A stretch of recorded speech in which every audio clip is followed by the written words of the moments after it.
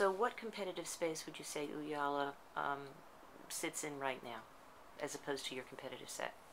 I think where you find uh, the largest differences, uh, because there's always some overlap, is Ooyala focuses uh, more heavily around uh, broad distribution of content and analytics with advanced monetization built on top. So what we've classically seen from the, the more standard online video platforms is a, a large focus on management and distribution of content, uh, which are, are, very fundamental needs of the industry. Where Ooyala uh, adds focus to that is around that ability to then ultimately monetize and personalize the consumer experience across all screens. And to do that requires uh, additional investments and additional uh, product offerings around uh, multi-platform distribution, deep analytics around content consumption, and then ultimately automated systems like uh, Discovery uh, to help facilitate a better and more personalized uh, media experience. Ooyala uh, concentrates predominantly on video. Is there a thought of measuring all the content like on a website or we think tablet? there's a yeah we think there's a lot of other really successful uh, players whether they're in analytics or monetization or uh, simply optimization technology that already focus on the website and display side of the industry. Uh, what we found is by focusing on video, looking sort of more broadly at the overall consumer experience, uh, we actually have a very different lens through which we can optimize uh, the distribution strategy for our publishers.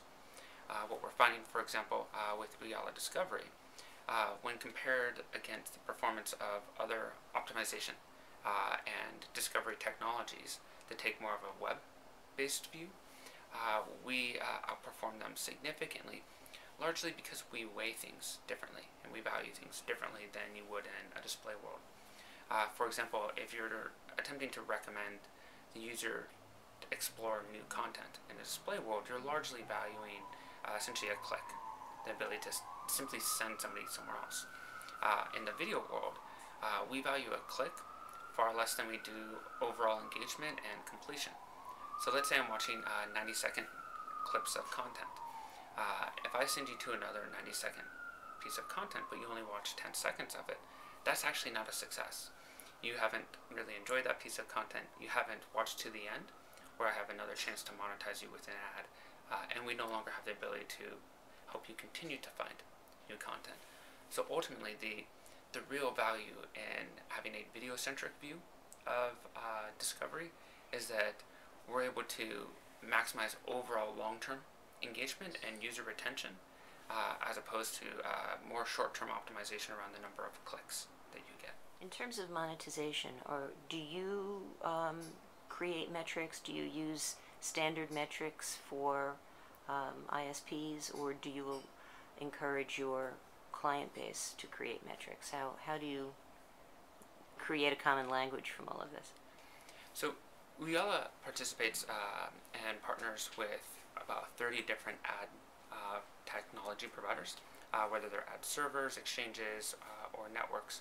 Uh, we have a number of partnerships, and so we uh, we work very closely with the ad industry. As far as standards, um, there's a number of standards, but where Ooyala tends to focus more is how do we ultimately mon uh, monetize uh, content better? How do we get the old adage of analog dollars and digital dimes? How do we get those dimes back up to dollars?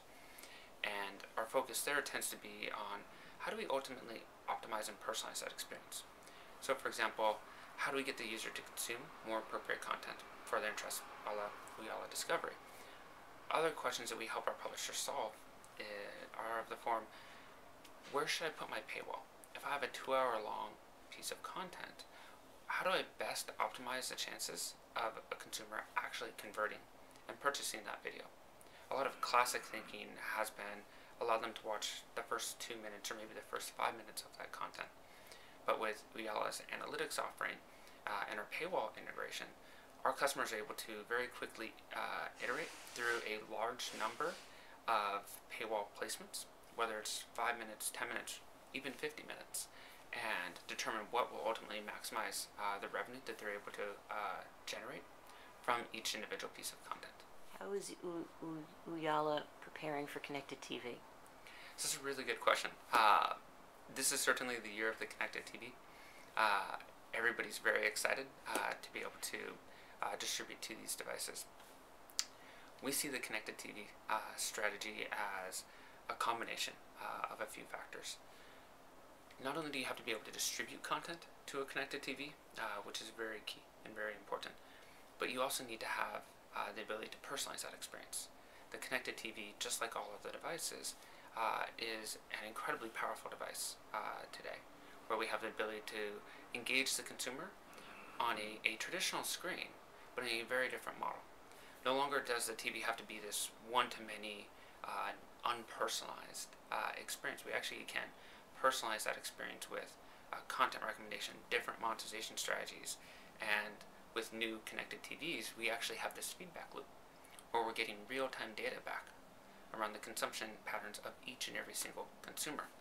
And the ultimate value that uh, most of our publishers will be able to provide, and, and, that we see the large opportunity is for the industry, is to be able to take the uh, classic linear experience and make it personalized. So rather than having a world of 200 channels on your, your Comcast uh, box, have a world of 2 billion channels, one for each and every single consumer.